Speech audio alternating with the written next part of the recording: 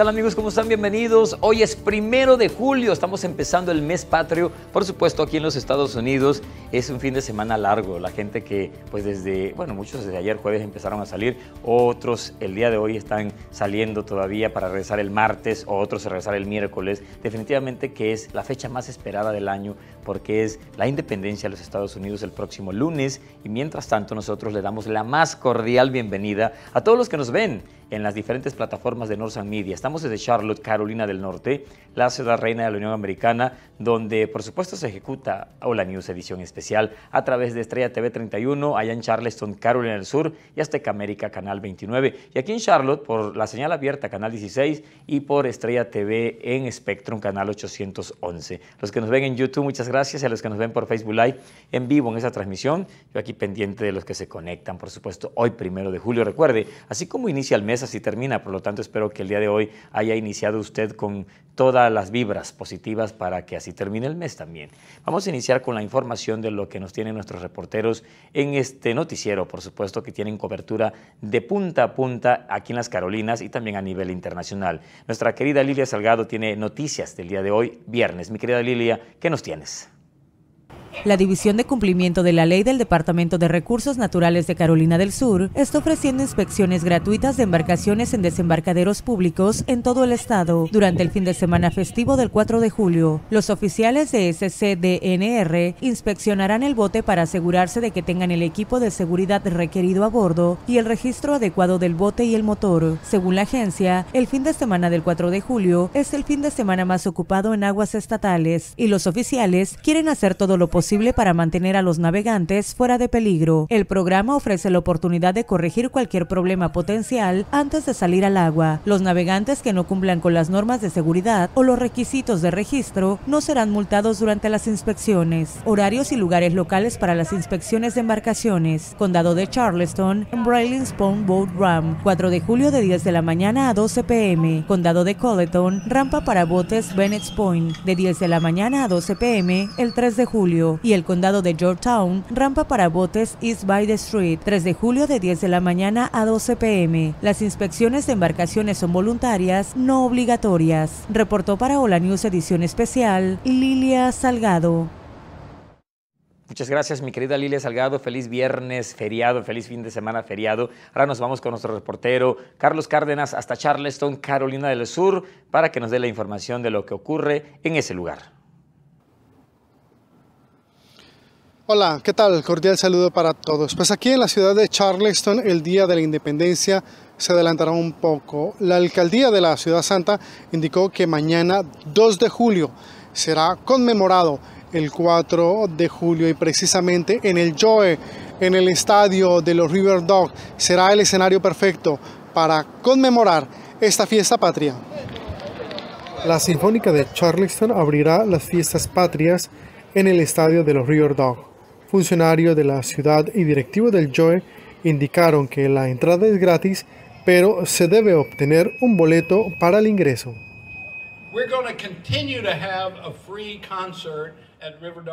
Este año, debido al calendario de béisbol y al fin de semana, se realizará el 2 de julio. No tendremos fuegos artificiales el 4 de julio. Este espectáculo de luces será después del concierto sinfónico. Agradezco a Charleston Place, que es el patrocinador de los fuegos pirotécnicos.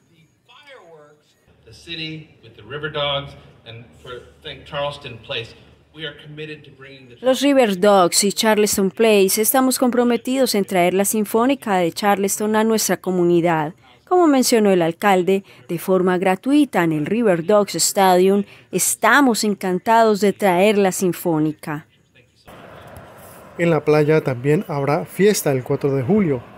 En Isla Old Palm se llevará a cabo un desfile de carros de golf que iniciará desde las 10 de la mañana en las calles Cuarta Avenue y Charleston Boulevard. Luego, terminando el día, habrá quema de fuegos artificiales en la zona de Front Beach. La vía se cerrará desde las 6 de la tarde.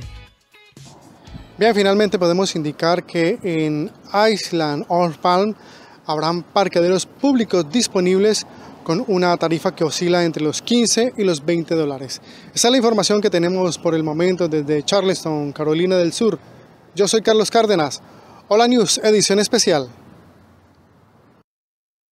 Gracias, Carlos. Un saludo a toda la gente que nos ve allá en Charleston, Carolina del Sur, que espero se preparen para este fin de semana. Bueno, que ya estamos aquí hoy viernes y en este fin de semana feriado y un fin de semana largo. Vamos al clima con la bella Suja, ya está con nosotros. ¿Cómo se depara el clima para este fin de semana? Y así se prepare usted para celebrar a lo máximo. Ya está Suja. Adelante, Suja.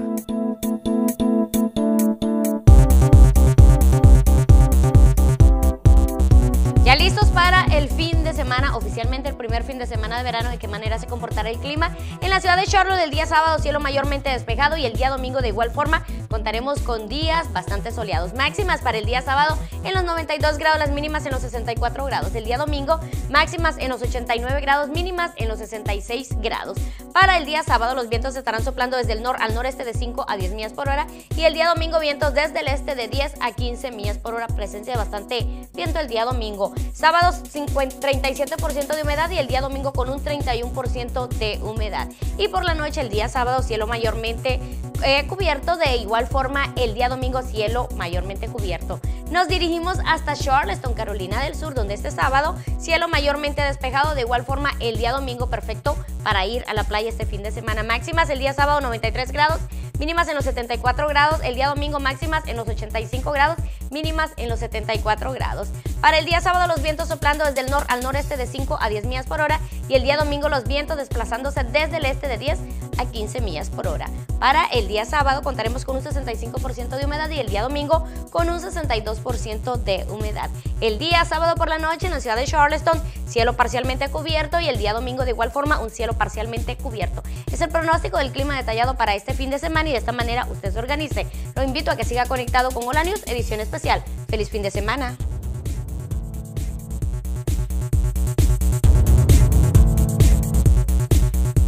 Gracias, mi querida Suja, por la información. Ahí está, para que se prepare usted de cómo se va a poner el clima mañana sábado, el domingo y, por supuesto, bueno, ya el lunes 4 de julio, pues vamos a ver qué tal. Mientras tanto, nos vamos con más noticias. Nuestro reportero Juan Carlos Velilla siempre está pendiente de lo que ocurre, principalmente en el área de Charlotte y sus alrededores, trayéndonos siempre las noticias de lo que impacta a nuestra comunidad. Adelante, Juan Carlos. De nuevo estoy con el noticiero Hola News, con mis compañeros televidentes y el Comité Judicial de la Cámara de Representantes de Carolina del Norte acaba de aprobar la propuesta SB 101 que exigiría a todas las oficinas del alguacil del Estado cumplir con las solicitudes que les haga ICE. Vean ustedes el siguiente informe que les hemos preparado referente a esta iniciativa SB 101. La iniciativa SB 101 que reaparece rescata en esencia el espíritu de la propuesta antimigrante HB 370, aprobada en el 2019 por la Asamblea General y vetada por el gobernador Roy Cooper por considerarla inconstitucional y populista. La propuesta SB 101 fue aprobada en el Senado estatal el 11 de marzo del 2021 con una votación que siguió la línea partidista con 27 votos de los republicanos a favor y 20 demócratas en contra.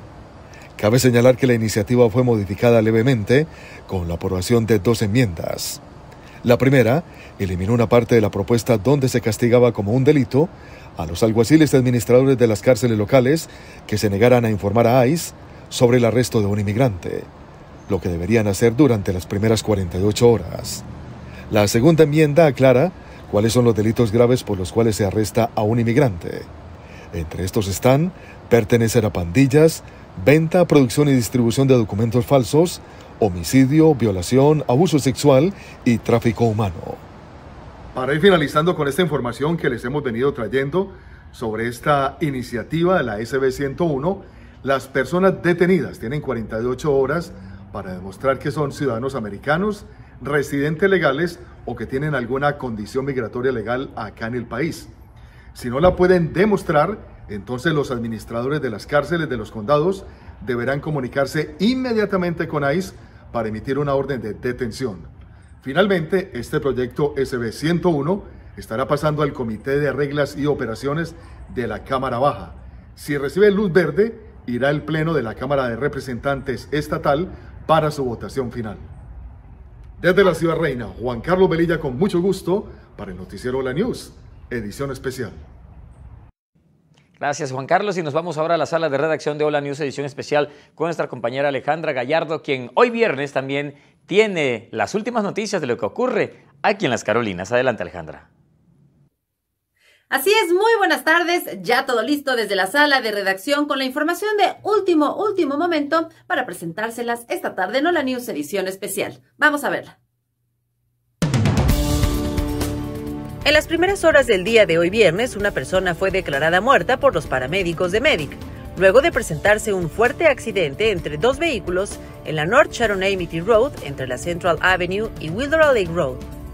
Por ser un lugar tan céntrico y concurrido donde ocurrió la tragedia, las autoridades se vieron en la obligación de cerrar algunas vías, situación que perjudicó a varios conductores que iban de paso para sus trabajos.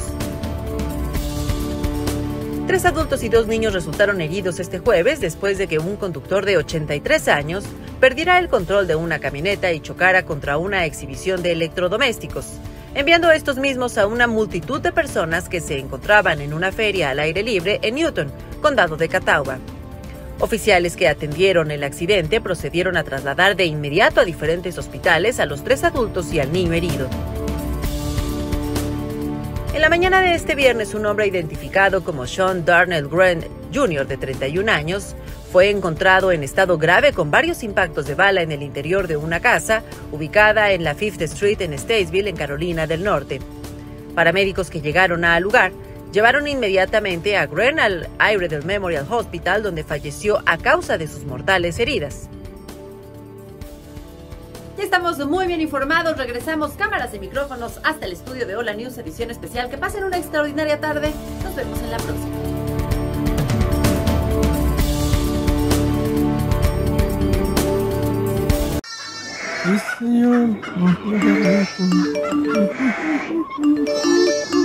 Epifanio, tu abuela está bien enojada, ¿eh? Que ya sueltes el celular y te vayas a ordeñar. Sí, señor, yo soy de rancho, soy de botas caballo. Con orgullo y agradecidos con nuestros padres, en la raza, no nos olvidamos de dónde venimos y tenemos claro a dónde vamos. Sintoniza la raza 103.9 FM o descarga la aplicación La Raza Charleston para escuchar música totalmente gratis. Búscanos en redes sociales como La Raza Charleston. Juntos nos sentimos como en casa. Yo soy de rancho, soy de botas caballo.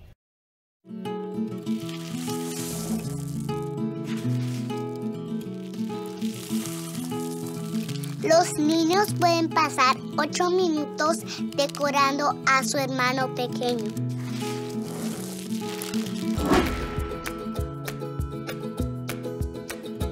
Cepillarse dos minutos puede salvar a tus hijos de sufrir un dolor severo. Dos minutos, dos veces al día. Aprovecha que ellos tienen tiempo. Disfruta de la buena música. Música sin comerciales. Tres géneros. Programación en vivo. Pop rock. quién te bañará. Amor con tan, tantos besos. Reggaetón. Yo y cama suena y suena. Tropical. Amigos con derecho, derecho, derecho. Amigos con permiso. Download it now. Llévala a todas partes. Ahora disponible en tu App Store. Latina 102.3 FM, tu música. Presentado por tus concesionarios Toyota locales. Vayamos juntos. Visítanos hoy.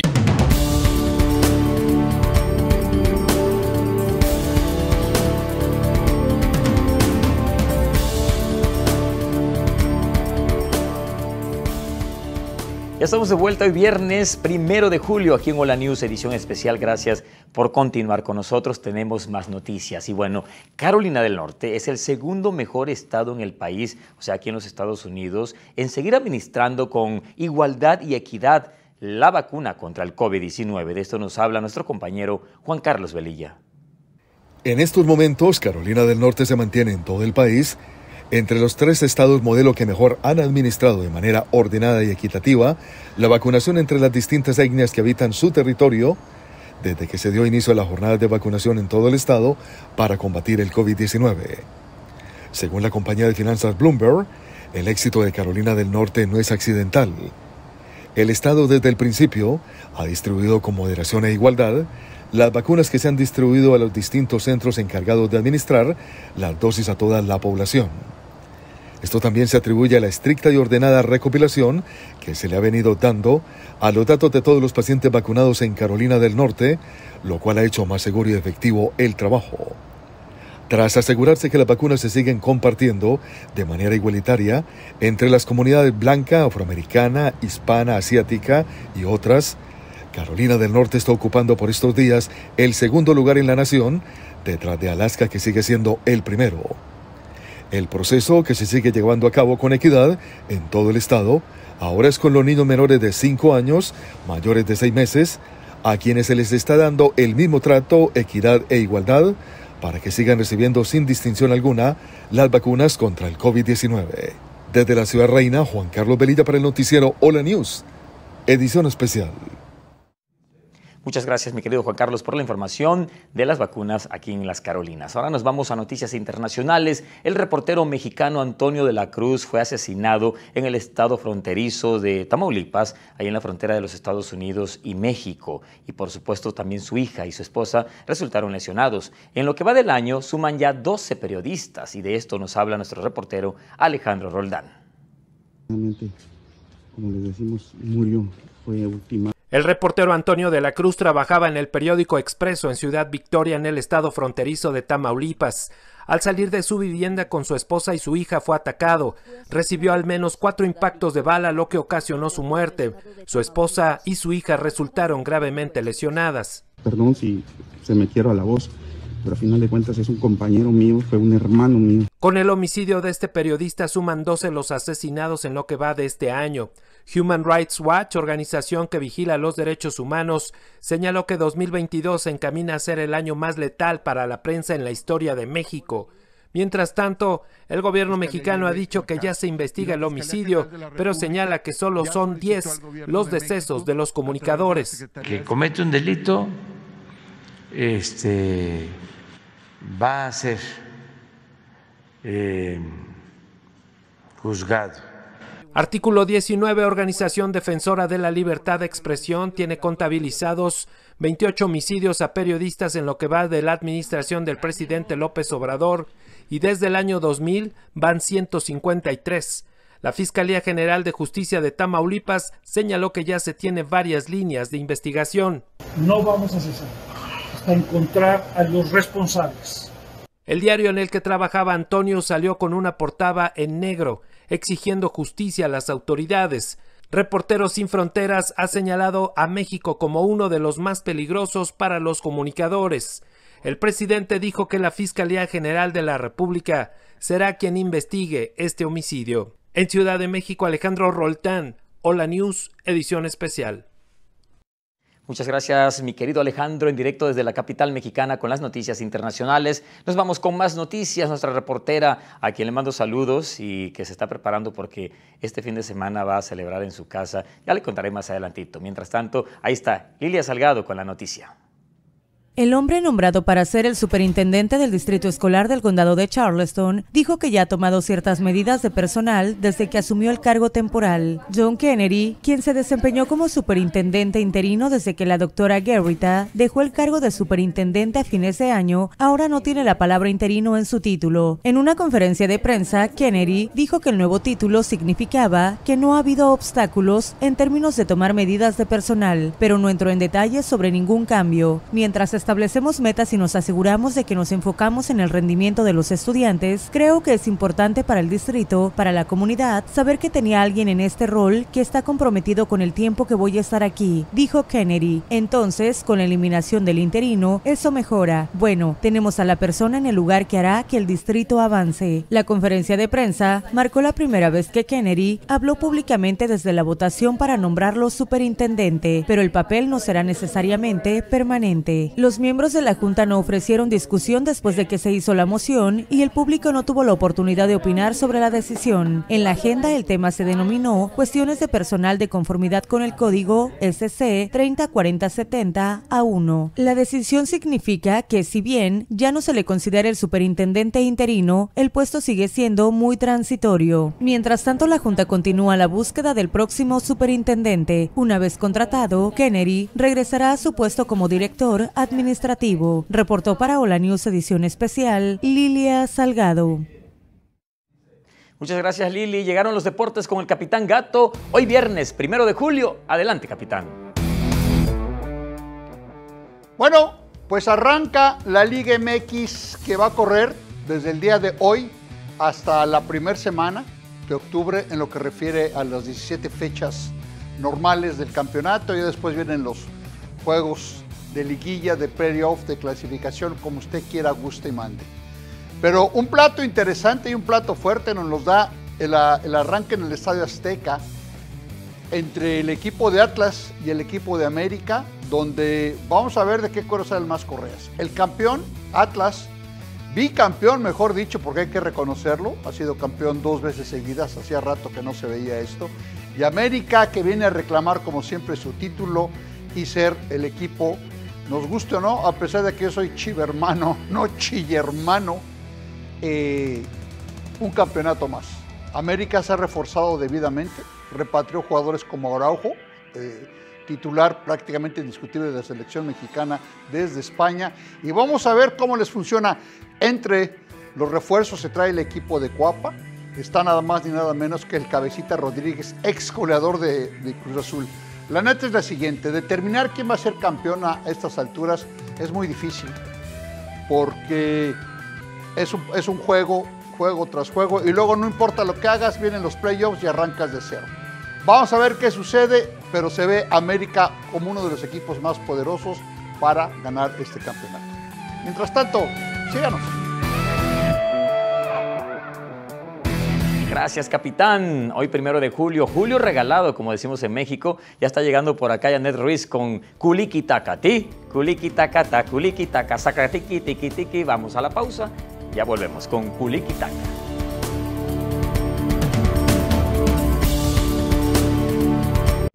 Disfruta de la buena música. Música sin comerciales. Tres géneros. Programación en vivo. Pop rock. Dime quién te bañará. Amor con tan, tantos besos. Reggaetón. Lo dije yo y cama suena y suena. Tropical. Amigos con derecho, derecho, derecho, amigos con permiso. Download it now. Llévala a todas partes. Ahora disponible en tu App Store. Latina 102.3 FM, tu música.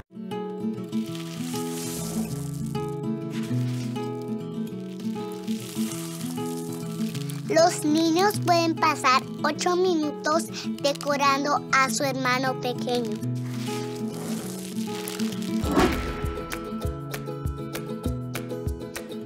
Cepillarse dos minutos puede salvar a tus hijos de sufrir un dolor severo.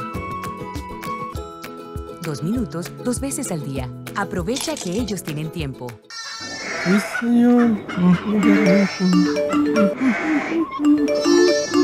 ¡Epifanio! Tu abuela está bien enojada, ¿eh? Que ya sueltes el celular y te vayas a ordeñar.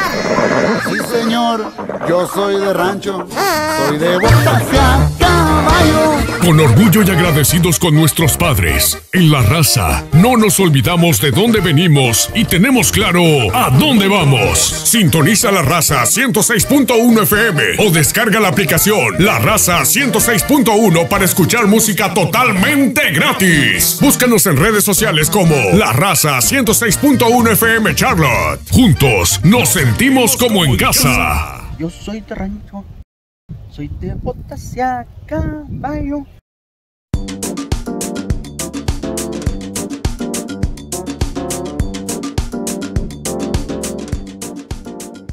Kulikitaka, hoy es viernes y estamos muy felices y contentos de presentarles los chismecitos de la farándula artística. Así es que, pues, a entrarle al baile, porque sin el baile, pues no hay sabrosura. Vámonos bailando. Kulikitakati, kulikitakata. Yuri exigió que sus bailarines sean delgados, se tienen que conservar. La cantante Yuri hizo una particular exigencia a sus bailarines, quienes formarán parte de su nueva gira titulada Euphoria Tour 2022. Esta serie de conciertos dará inicio en noviembre en la Arena Ciudad de México. La intérprete de La Maldita Primavera reveló que ninguno de sus bailarines podrá subir de peso durante toda la gira. Ellos están estrictamente con una petición de mi parte, dice Yuri, que se tienen que conservar delgados porque muchos bailarines entran, empiezan el tour y luego echan la panza. Eso es lo que dijo Yuri y también pues que tiene que, eh, no tiene nada en contra de los gorditos, pero los bailarines siempre se caracterizan por tener buenos cuerpos. Así es que, porque obviamente para el taco de ojo para la señora y también pues destacó que para estar en un show con ella, la disciplina de sus colaboradores es esencial. Ahí está, muchachos, si es que a trabajarle duro al gimnasio para que si quieren ser parte del show de los que presenta Yuri, pues ahí está, se mantengan. Y bueno, continuamos con el culiquitaca del espectáculo. Mitzi reveló que Raúl Velasco trataba mal a artistas por malinchista fue terrible con los mexicanos. Eh, Raúl Velasco se caracterizó por ser un presentador estricto en su programa Siempre en Domingo, pues no faltó semana en la que criticara a alguno de sus artistas invitados o que los famosos que habían asistido lo acusaran de prepotente y grosero. Ahora Mitzi, diseñador que se encargó de vestir a las estrellas de Televisa por varios años, aseguró que él fue testigo de los maltratos de Raúl Velasco a los cantantes, entre ellos Lucha Villa.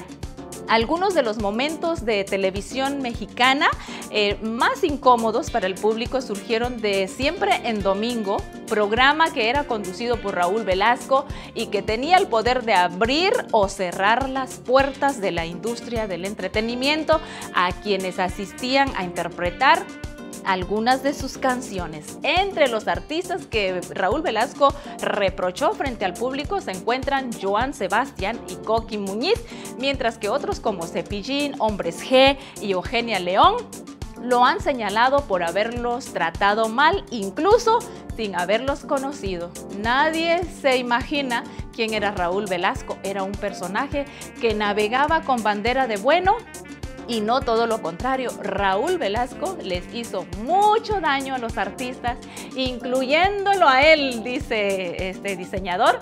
Así es que pues que Raúl Velasco fue terrible casi con la mayoría de los mexicanos. Él le daba la bienvenida a los españoles y era muy anti-mexicano. Así es que bueno, pues este es el culiquitaca del espectáculo y nos vamos bailando, gozando, culiquitacati, culiquitacata. Takata tiki taka taka takata tiki taka ta.